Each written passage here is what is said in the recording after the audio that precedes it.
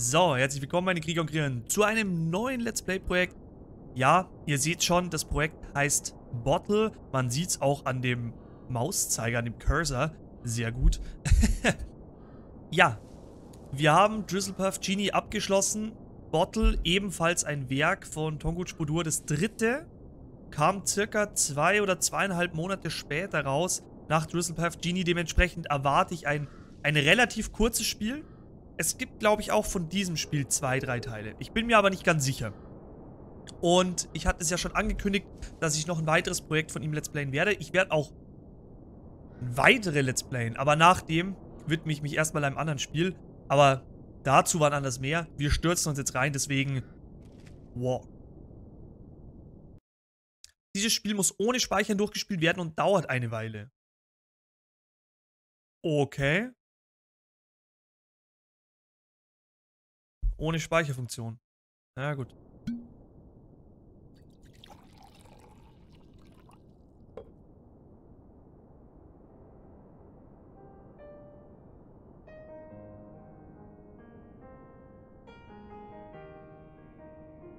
Können wir schon loslegen? Ja. Wir machen es wie bei Drizzlepath. Wenn unten ein langer Text steht, bei dem ich im Weg wäre, tue ich mich schnell ausblenden, okay? Nur damit ihr Bescheid wisst. So. Guter Wein. Viel Wein.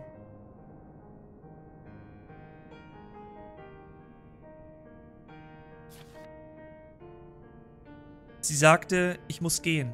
Mein Herz zerbrach in meiner Brust, konnte die Tränen nicht zurückhalten, konnte nur noch sagen, ich weiß. Inspiriert durch die Geschichte aus Drizzlepath Genie von Sabina Katschka. Hey, wir können also erstmals richtig mit unserer Umgebung interagieren. Wenn man jetzt den Hebel außen vor lässt. Der Bau zum Bur Turm von Babylon. Zum Wurm von Babylon. Draußen sehen wir... Ich dachte erst die Brandung, aber es ist Schnee.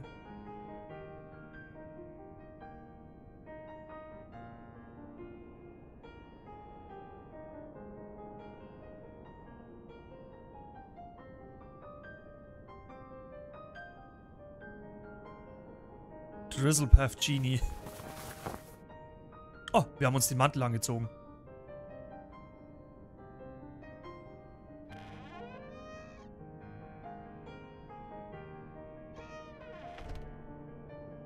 Oh, kalter Wintertag hier.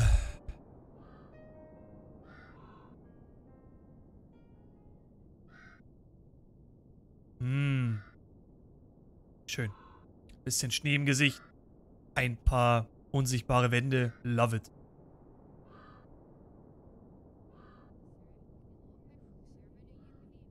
Hey, können wir die Axt mitnehmen? Oh nö, oh nö.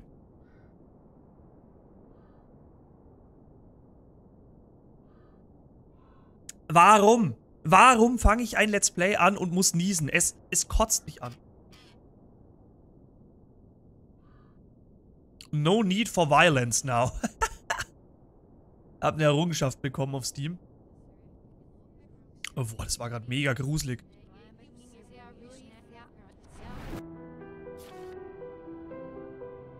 Die Luft hätte warm und farbenfroh sein sollen. Hätte da sein sollen. Deine Hand halten. Eine Spur heraus aus diesem Wahnsinn. Achte darauf, wohin die Gazelle schaut.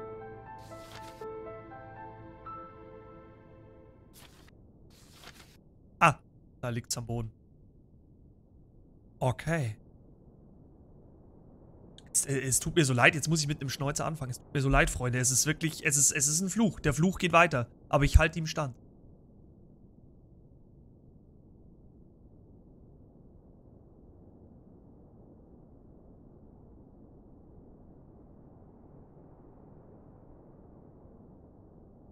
Der absolute Let's Play-Fluch. Gut. Mir wurde gesagt, ich soll bei Bottle auch hin und wieder abseits des Weges mich ein bisschen umsehen. Das werden wir tun. Oh wow, was ist da hin?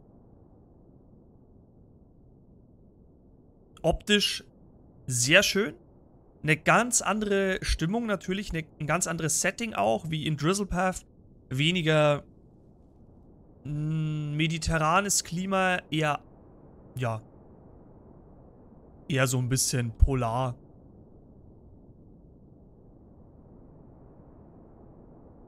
So. Ich fand es übrigens sehr schön, dass bei Drizzlepath sogar der Entwickler selbst, Tonguch Bodur, mir einen Kommentar hinterlassen hat unter eines meiner Videos. Und zwar da, wo ich von der Klippe gesprungen bin, um zu schauen, ob es möglich ist. Fand ich sehr schön, fand ich eine schöne Geste. Motiviert einen natürlich auch. Jetzt schauen wir uns dieses Kurz... Wahrscheinlich ist es ein Kurzprojekt. Wahrscheinlich ist es kürzer als Drizzlepath Genie, auch wenn gesagt wurde, es dauert eine Weile. Ich hoffe, es dauert nicht länger als drei Stunden, weil... Ich glaube, in drei Stunden...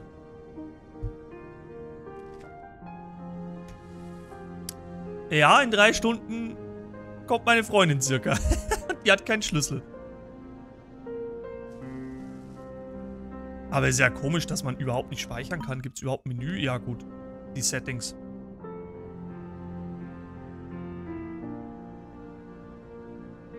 Mir wurde auch schon gesagt, dass ich bei Drizzlepath Genie auch einige Easter Eggs übersehen habe. Die Frage ist, wonach sucht man bei so einem Spiel? Der ja doch sehr storybasiert ist. Und wo es eigentlich ganz wenig Hinweise darauf gibt, wo man hingehen soll. Also natürlich, ich könnte jetzt hier den, den Wald quasi so Schachbrettmusterartig ablaufen. Aber sehe ich kein... Also reizt mich jetzt nicht, um ehrlich zu sein. Reizt mich aus dem Grund nicht, weil ich ja keinen Hinweis darauf habe, ob ich da jetzt reinlaufen soll. Oder irgendwie ein Zeichen, das mir jetzt sagt, hey, geh doch mal dahin. In Drizzlepath Genie waren es zumindest die, diese Punkte, diese roten oder blauen, je nachdem welchen Weg man gewählt hat.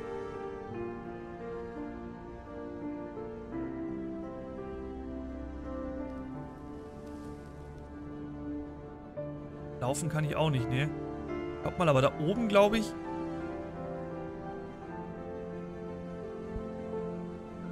Das sieht mir nicht nach gewöhnlichen Steinen aus.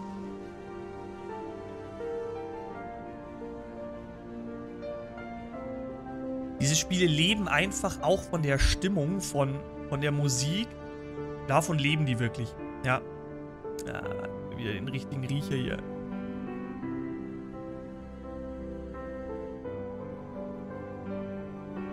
Support from Underground.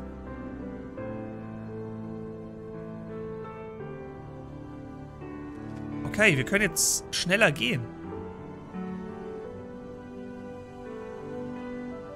Das war ein kurzer Zauber. Kriegen wir den nochmal? Nee. Kleiner Geschwindigkeitsboost, aber nur für ein paar Sekündchen. Schade. Ich hätte gern ein bisschen länger gesprintet. Aber gut, zumindest, zumindest kann ich jetzt schon behaupten, hey, ich habe äh, eins von diesen Secret Places gefunden. So.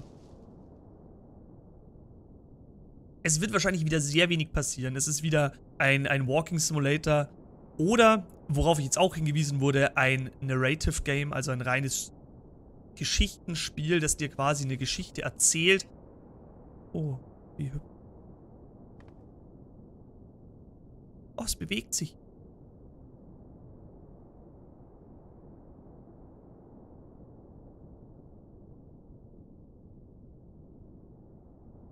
Hallo, mein Kleiner. Du machst komische Geräusche.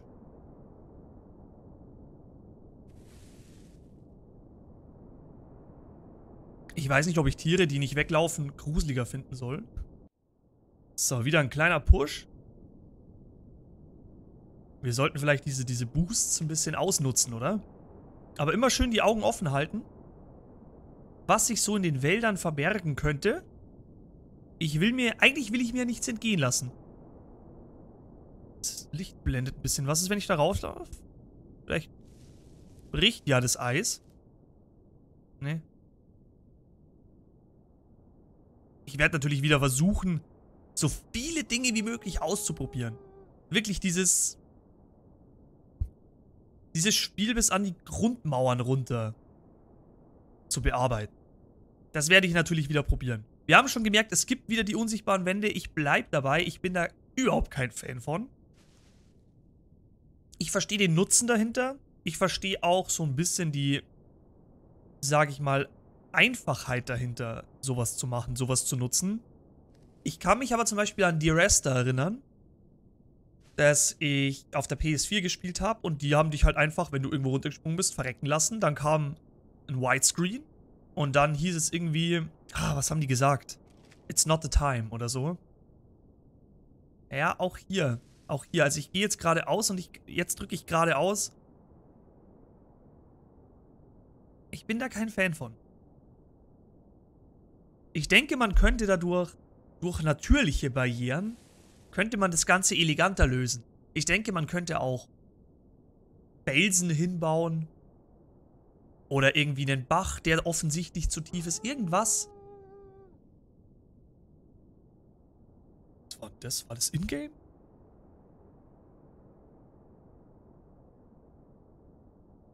Ich weiß nicht, ob es Ingame war, aber es klang komisch. Ich habe irgendwie so ein bisschen Angst, dass wenn ich zu weit vom Weg weggehe und die Frau nochmal auftaucht, dass ich sie verpasse.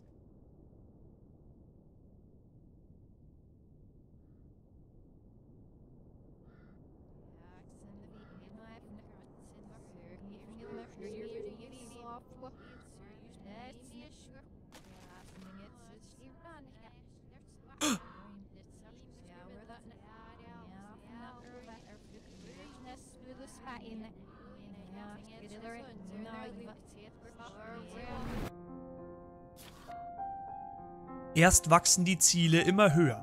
Dann glaubst du, du wirst alt. Aber nie genug, den Grenzstein zu erreichen. Dein Fehler war es aufzugeben. An unsichtbaren Winterwänden.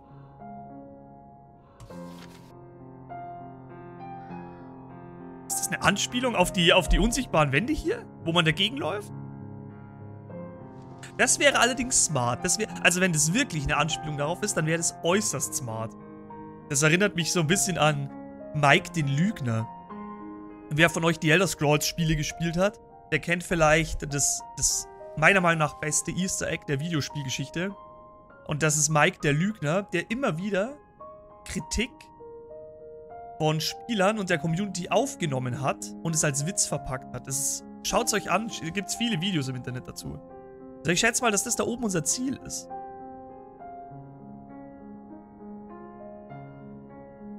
Ich schätze mal, da müssen wir hoch.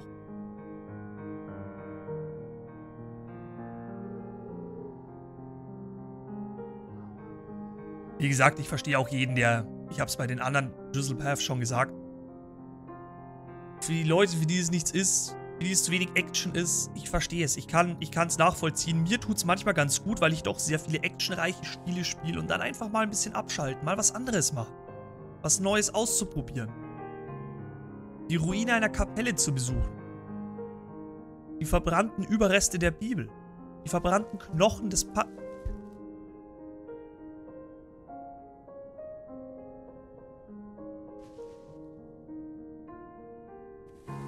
Aber ich hätte gerne einen Sprint-Button.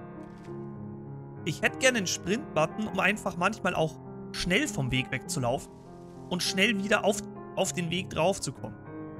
Aber nicht zu viel Zeit zu verlieren.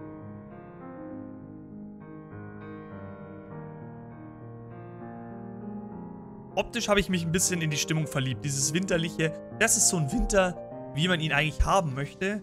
Wie ich aber finde, dass er viel zu selten ist. So leichte Schneeflocken. Alles ist verschneit, nicht matschig, einfach schön. Also er bleibt auf jeden Fall seiner Linie treu und setzt auf, auf eine wunderschöne Optik. Ob ich das jetzt als Flussbett annehme, das ist die andere Frage.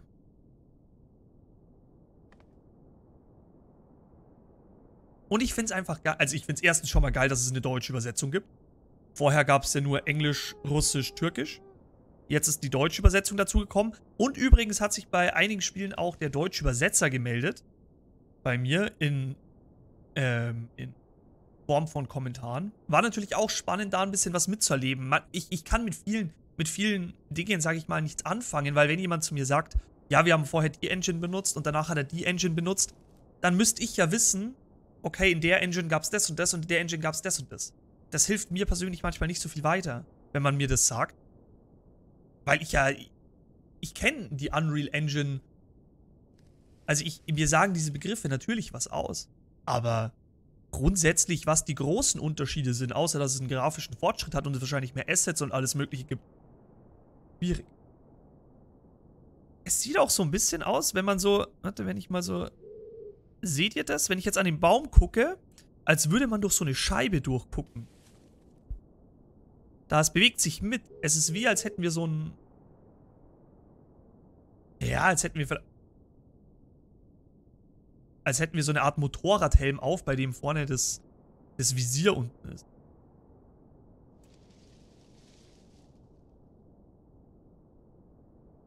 Was dieses Mal gar nicht ist, ist, dass wir eine Erzählerin haben.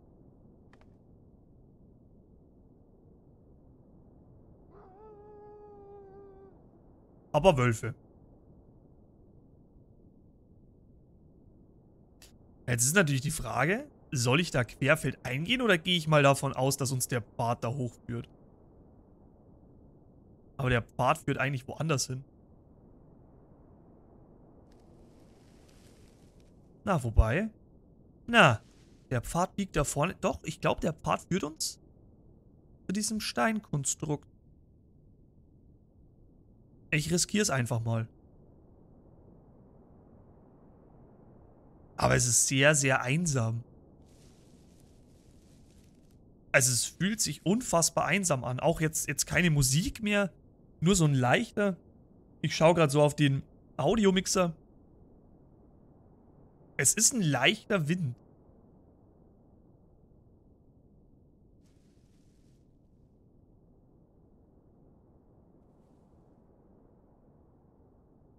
Was für ein Sonnenuntergang, Junge.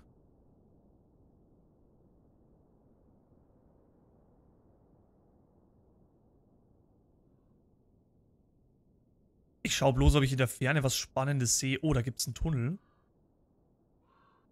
Ah, dann gehe ich aber doch nochmal kurz zu der Burgruine da hoch. Die will ich mir nicht entgehen lassen. Wurde ja auch kommentiert, es wurde gesagt, jedes gutes Spiel muss eine Höhle oder einen Tunnel haben. Erfüllt. Oh nee, wir können nicht hoch. Nein. Nein. Oh, ich komme nicht hoch. Da ist wieder eine unsichtbare Wand.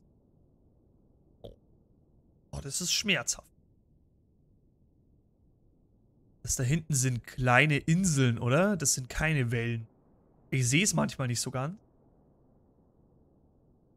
Aber gut.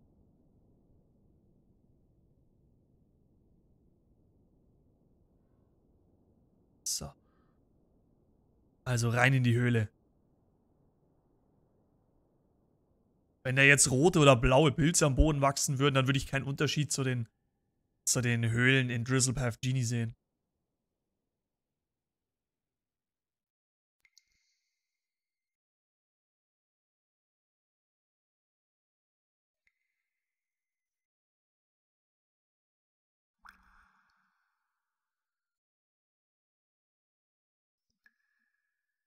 Man hört so einen Tropfen.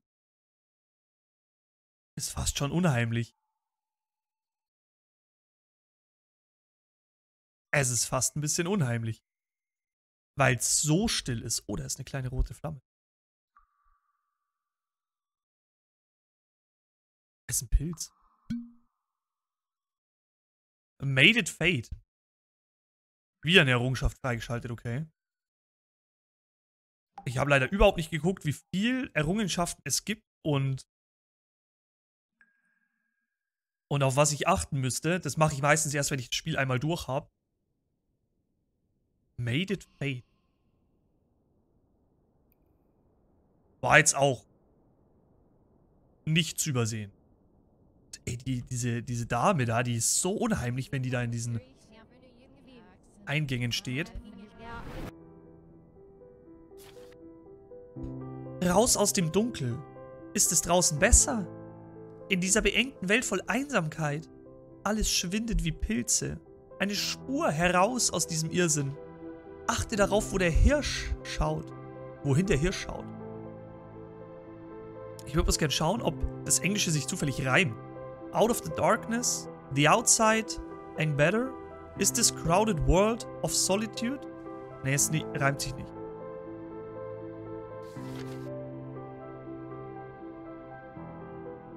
Geh da... Gehe oder schaue? Achte darauf, wo der Hir wohin der Hirsch schaut.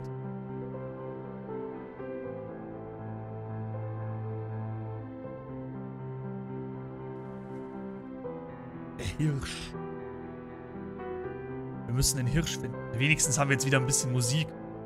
Ich versuch's nochmal querfeld einzugehen, Freunde. Ich, ich wag mich nochmal ran. Ich wag mich nochmal ran.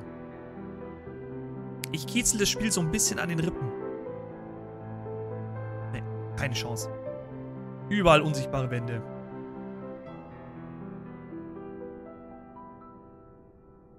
Äh, da lasse ich eigentlich nicht mit mir verhandeln. Also wenn jetzt jemand sagt, das ist ein Stilmittel, die unsichtbaren Wände, dann muss ich schon sagen, naja gut, also wirklich äh, Stilmittel. Eher... Mir fällt jetzt kein Wort ein, das, das irgendwie nicht gleich arg bös... Es ist nicht so bös gemeint, das machen ja viele Spiele. Ich finde, es hat immer so ein bisschen mit Faulheit zu tun. Aber wie gesagt, jetzt, mir ist bloß kein anderes Wort eingefallen. Das klingt wahrscheinlich böser, als es gedacht ist.